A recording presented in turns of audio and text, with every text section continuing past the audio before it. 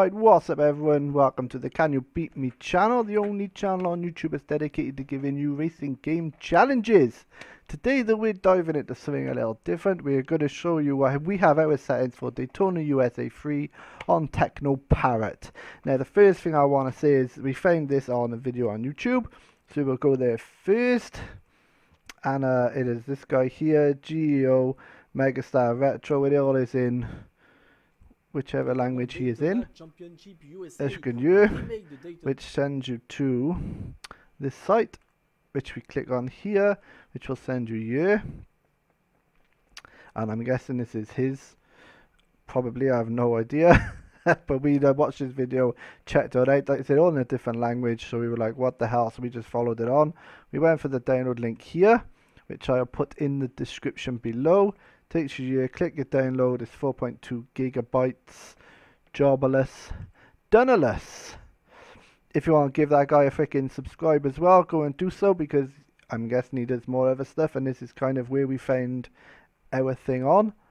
So we will do that. We will come off here and we will go to here and obviously that is there. Once you've done your downloads, I stuck it in my own personal folder for games TeknoParrot down here. Stuck it up here. Uh, there is all your game data and everything as well. When you do load the game up you have to make sure you click on the application right here when you use your TeknoParrot so right, we'll close that down. Open up my TeknoParrot go to Daytona USA we will go to game settings and we will show you exactly where it is. We go back to our E drive in my games in my TeknoParrot folder. Select game select Daytona and there it is. Just select that one click open. These are what settings we have. We have hide the cursor. We use keyboard buttons for access even though that doesn't work at all um, we make sure we have disabled disabled uh, API direct input as well. I think if you use X input it just doesn't do it properly. Uh, all this can stay off then. Settings. Then before I even play my game I go to my control panel here. As you can see we have the well you can't really see it but we have our handbrake and we have then our is that one our handbrake? Yeah, that one's our handbrake. This is our USB device for our gear stick.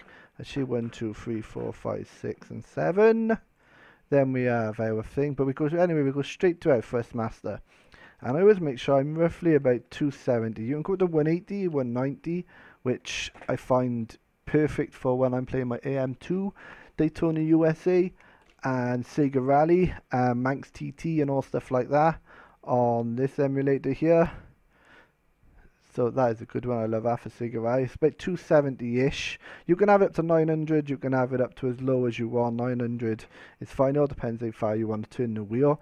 The 270 seems to be a nice sweet spot. I did have it in 180, 190. And basically because all the old school racing games seem to just have 90 degrees left and right, like Outrun and things like that. So that's where we learned all ours from. So we want to keep it like that. So I've had years experience of using it that way. Some people come on you and using it like, oh my god, that is horrendous. But for me, because I grew up with it, that's what I like. Other people change it, so there. So I put about 270. Should be okay. What you want to do there, you know, is always, before you do that, go to your control panel and then always give your thing give your wheel a nice little turn just so it resets your settings and nice and done. Nice and done eh? Nice and done. Job done. That is how I literally set up mine. Um, we got these up as running as well exactly the same way. Um, I think this one we change our thing to 180 190 degrees. I think Sega Rally is 360 possibly. Sonic again is uh, 180 and 190. But yeah, before I do everything, I always make sure I double click my freaking control panel. Always just go in here. Literally takes two seconds. Make sure I'm on there. Job done. I should probably do a little notepad by here somewhere to say which games do what wheel settings. But most of the time it's in my head and I know it anyway. So there's that. So now we'll dive into Daytona USA. We'll switch the uh, over to Daytona USA, which should change now. If you notice, our screen changes completely by year because the way the settings to film this is weird as hell. We have to stretch our image. So here we go, launch game. Move a mouse out the way. Have a little go, grab those gloves. I might fast forward this little bit for you. Hopefully now that stream comes up. It should start up there in the top left corner and then it should move to the middle. I didn't move my OBS over. So hopefully this should change in a minute. I'm hoping it changes in a minute anyway. There's only one way to find out, didn't it, when we check it. Do do do do do do. Oh, Eric, make sure you do your force feedback settings. There's a way to do it on TeknoParrot itself. Just go into your force feedback. There's a folder, there's an option thing on there. Click add, download that, and just put your folder into your Daytona USA. Force feedback should be okay. I think I set mine for plus two on both of them. There's a little section that says like minimum thing is like, I don't know, two, something like that. So hopefully this is running, hopefully this is capturing because it's not showing me on my second screen because the game OBS is behind it. Hopefully this comes through now because we did the record it just now and the video quality was pants. It was like doing it in freaking 360p. I don't know what happened. It just decided to record it stupidly. So I'm hopefully this comes through alright now, much better. The sound is loud. So we will turn the volume down on here first. So basically everything's still, I haven't changed any settings at all. We will go on you, see how we do. Move a mouse out the way. I like this one because the tune is amazing. I love the tune. So uh, let's see how we do and let's see how we do for this one, shall we? So that is it.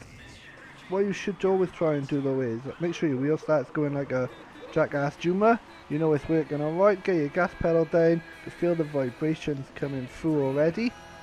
Which is epic and away we go. No, let's go away. Daytona. I'll stop singing now. Daytona. Let's go away. I won't stop singing. Yeah, that's it. That's my setting set up. Like I said, I'm guessing it's already done for the Thrustmaster. Um, as I said, I followed that, well, the guy's little tutorial thing. I changed a little, couple of settings for myself, for like the force feedback settings. Uh, you go into it and then you can just, I think I set it to 2. Uh, it says like between 0 and whatever, and I set it to 2. Uh, for both of them, I can't exactly remember what it is now, but if you open it up you'll see it says 0 and 0, one above the other for feedback something. I change it to two for each, and it's just enough. Anything above, try to rip my arms off. and I would like to say, if you have a Thrustmaster or if you have whatever wheel you have, make sure you are using a wheel, a full circled wheel, whatever you want to call it, full circled rim, whatever. Because when we played this for the first time and we used the open wheel, the GT3 Star car. and it started spinning at the start and I crashed into the wall. Guy almost took my hand off. Not even joking. So now is literally if I play Daytona I always make sure I've got my four wheel on and not a freaking any other one. it will rip your hands off. well we 10th of 6, here we go, 10th of 6. The video footage on this now seems much better, thank god. I might just put a little video up just showing you what they come out like when I first done it just now. I think it was just because I had added doing the game all video and the desktop at once and it was just conflicting with each other so I think now I'm just doing desktop. Hopefully we can come better than 5th. 5th is our best so far. We haven't been back on there since the other video. Did it do? Oh, they all decided to crash in front of me. That takes me up to fifth. Let's go, boys. Let's go. get that Daytona Cup. Oh, it looks like it's going to be last corner job. Nah, they're in front of me. I ain't beating that. I think I need a faster time. I can hit the wall anyway. Messed it up. Oh, look at that. They all crossed on the line again. Six. So yeah, as you'll see, the wheel will start spinning off. If you've got open wheel, boosh, hand off. 1812, that's not bad, bad for my fast lap. Should be in 17s though. We are an automatic. Normally we'll stick the gear stick on for manual and go from here so we can go from fourth to second to spin around there. Did put his first place out for that one, That'd be days. CBM. The wheel is a bit sensitive with trying to do your name, but that's it. But hopefully this guide will help you out.